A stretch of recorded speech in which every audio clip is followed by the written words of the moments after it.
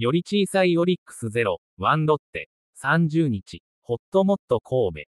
オリックス打線はロッテ佐々木朗希を攻略できず、今季6度目の完封負けとなった。1回先頭の西川が死球。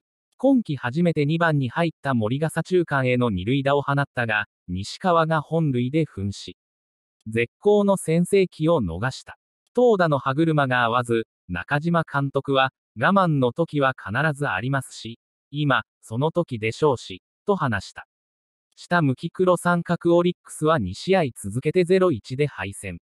オリックスの2試合連続0の1負けは、7年8月21、22日日本ハム戦以来17年ぶり。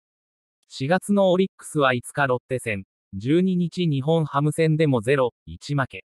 月間4度も0-1で敗れたのは23年9月の巨人以来、プロ野球7度目のワースト記録だ。球団では阪急時代の46年5月、63年6月に記録した3度を上回る最多回数。